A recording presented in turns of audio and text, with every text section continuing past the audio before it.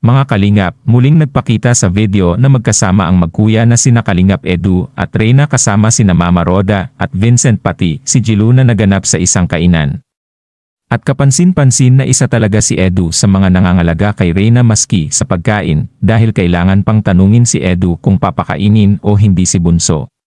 At talaga naman na close na close ang magkuya dahil sa madalas na magtinginan na parabang binabantayan ang safety ng bawat isa.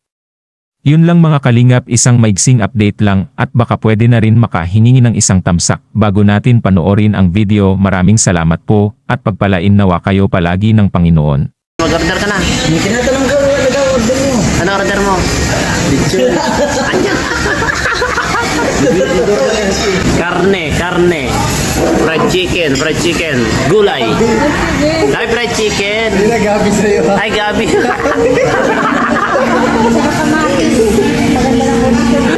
oh, bakit, naka, bakit nakatingin ka kay Edo?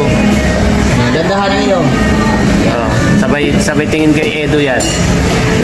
Gusto.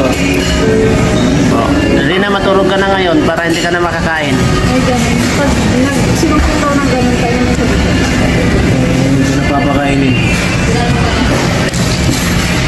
Sunod, pagkapunta nga. Hindi na. Hindi na natin pakainin.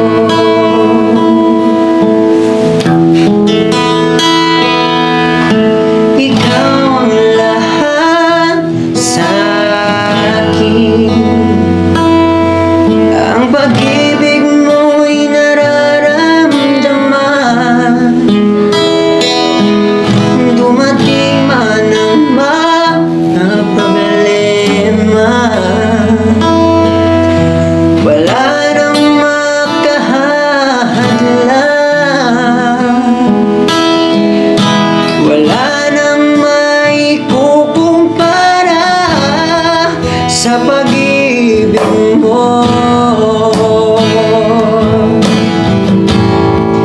Gaano man kalayo